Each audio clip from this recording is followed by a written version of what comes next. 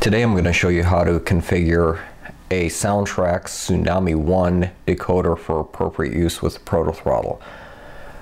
I have an Athearn Genesis SD70 Illinois Central Road number 1021. This particular locomotive was manufactured by Athearn uh, somewhere in the ballpark of about 2014, 2015 I think is when I picked this up. It has the original Soundtraxx decoder in it. Um, this is a different setup configuration compared to the Tsunami 2 decoders for the Proto Throttle. Um, this is an older decoder, so it doesn't have some of the index CVs to, you know, uh, set up the headlights and ditch lights like we would a Tsunami 2. So I'm going to do a real quick video using JMRI on how to appropriately set up the Tsunami 1 decoder for the Proto Throttle. I have track power applied. I have the locomotive on mute because it's quite loud out of the box. This decoder right now is actually set to the factory default. So uh, on my Digitrax hand throttle here, you can see I have locomotive address set up to 03. Uh, we're going to go ahead and change that when I get on to JMRI. Um, a couple things I want to show you. F0 is the headlight, F5 are the ditch lights. When I go ahead and put this in reverse, the locomotive in reverse, they're directional. So the headlights go away we're going to go ahead and fix that within JMRI so we can have it take advantage of the light knobs on the proto throttle. Even though this is an Athearn Genesis locomotive, it was produced, like I said, about four to five years ago. Um, there are no manufacturer installed ditch lights on the rear of this locomotive, so that's going to change a little bit how we program it with JMRI. Some of the new, newer Athearn Genesis uh, have working front and rear ditch lights uh, if it's specific for the prototype. This particular one does not have working rear ditch lights, so we're only going to focus on the front when we get to uh, the programming. Okay, my SD70 back on the programming track, I've got JMRI up and running here. First thing I'm going to do is I'm going to click on my basic tab because I want to change the DCC address. It's currently at the default address of 3, so let's go ahead and change that to 1021. That's the roster number. So we'll go ahead and write this change on the sheet. I'm going to come over here and click on the sound levels. Um, the Athearn locomotives come out of the box extremely loud. It's too loud for the room that I'm in, so I'm going to go ahead and adjust some of these um, sound levels down to just more manageable levels. So there you can see that uh, I just adjusted the master volume and the air horn because they're so loud. So the next thing I'm going to do is I'm going to go ahead and come over here and click on the CV tab. On the screen I have page number um, 27 out of the Tsunami Technical User's Guide for the um, Tsunami 1 decoders. And what this is, this is the function output map page. We're going to have to do this differently than what we did with our uh, Tsunami 2 decoders because these are basically the options that we have for programming the outputs for the specific things. So you can see the first column we have F0 forward, F0 reverse. Currently right now that is actually set up for the headlight and the backup light.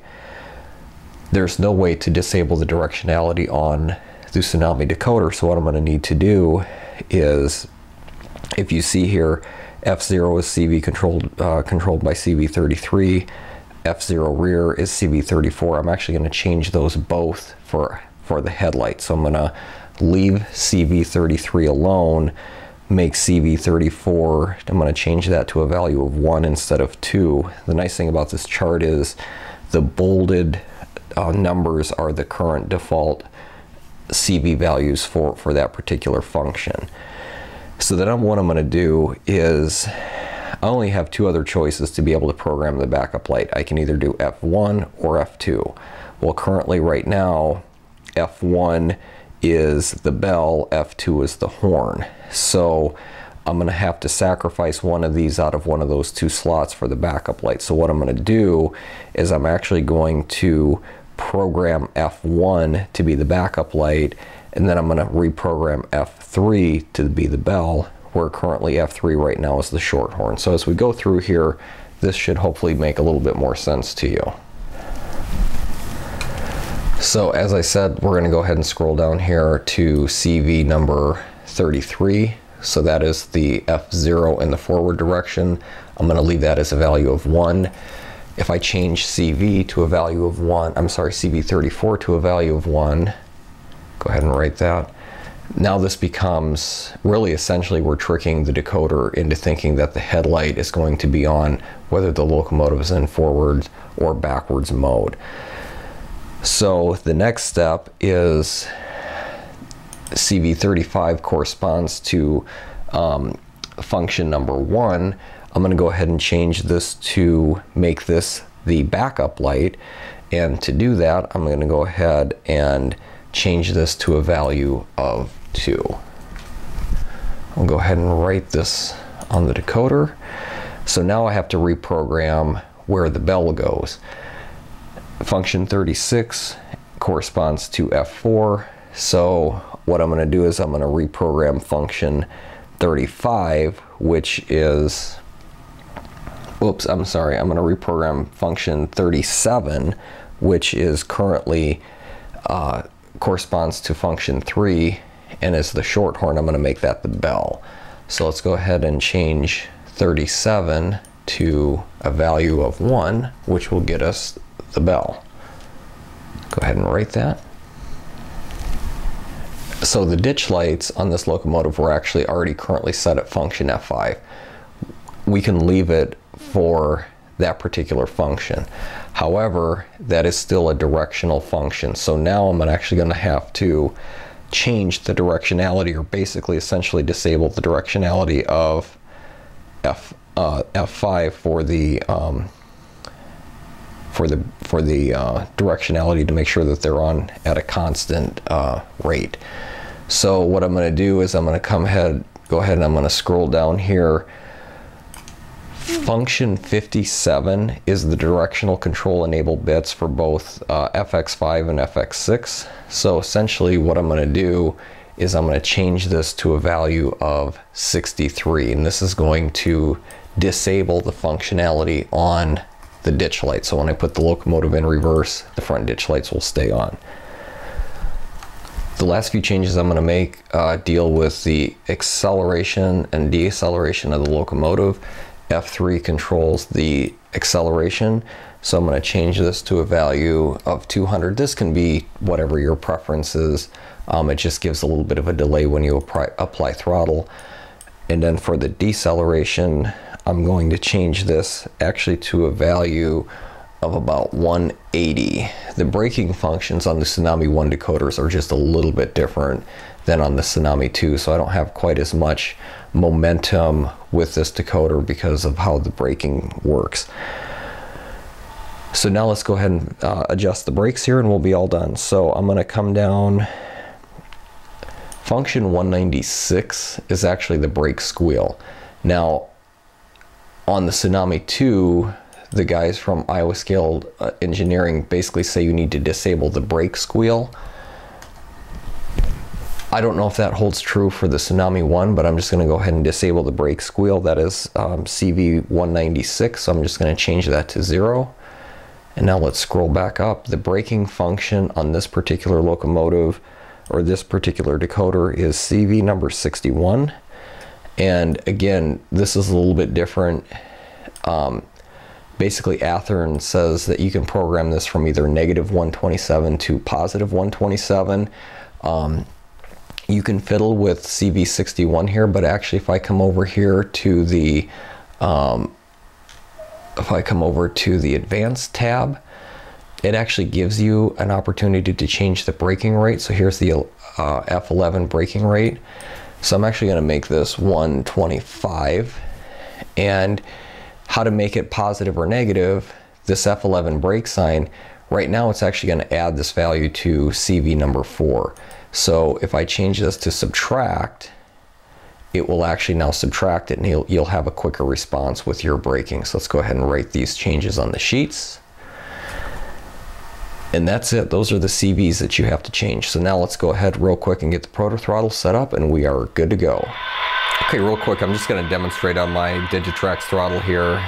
Although the changes verify that they work before I go to the proto throttle. So first thing, we change this to Locomotive 1021.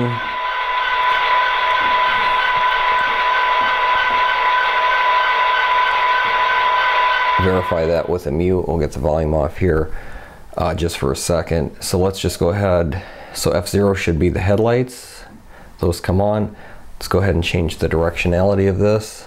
So you can see when I change the directionality, the lights stay on, which is fantastic. Uh, F5, ditch lights, they come on. Again, let's check the directionality. They stay on whether the locomotive's in forward or reverse. I'm gonna unmute it here for just a second. So F1, if you remember, was the backup light. We'll verify that in a second. F2 should still be the horn. F3, we reprogrammed to be the bell.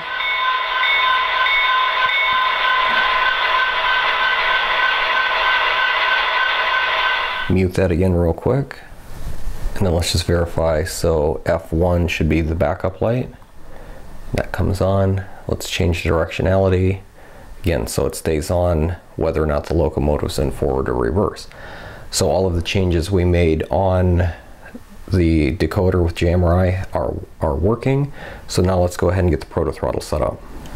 Okay, I have my proto throttle set up here. And so the first thing we're gonna do is we we need to um, set the locomotive.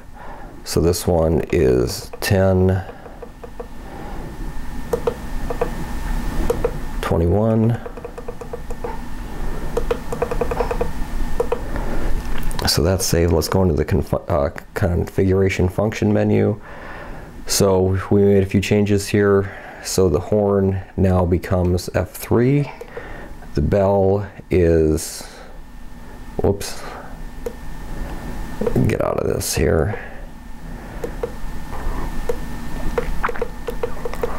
Sorry, I got ahead of myself here. Go back and consider. The horn is still F2. The bell now has become F3. The brake is going to be F11.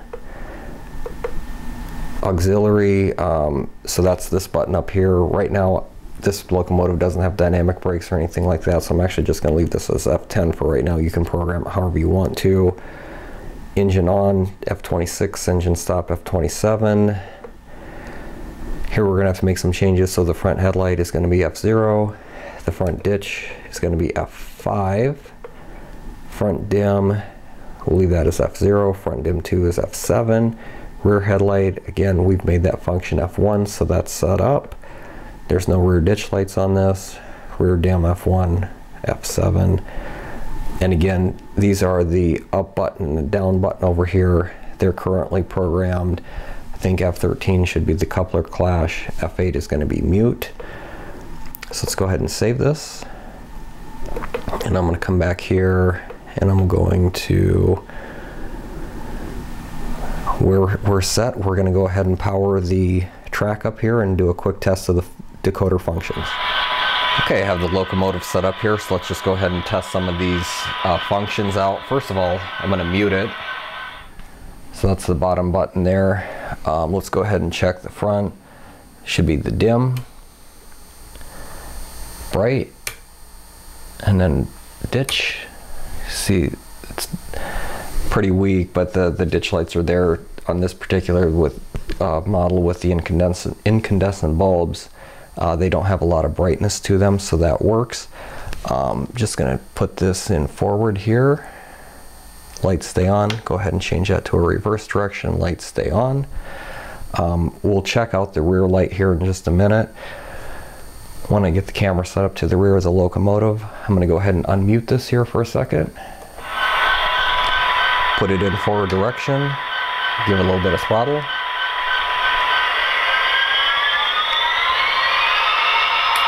Apply the brake.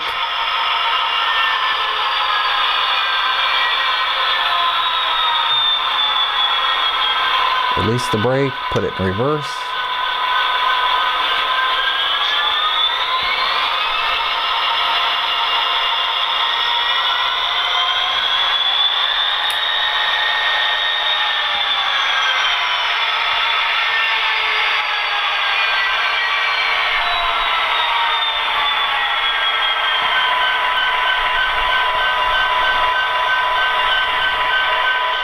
And then just real quick to verify the rears work.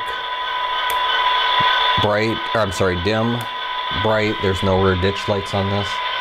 Just go ahead and mute that for a second. Go ahead and disable the front headlights. So we have successfully programmed this Athearn Genesis uh, SD70. It has a Tsunami 1 decoder in it. It works fantastic with the proto throttle.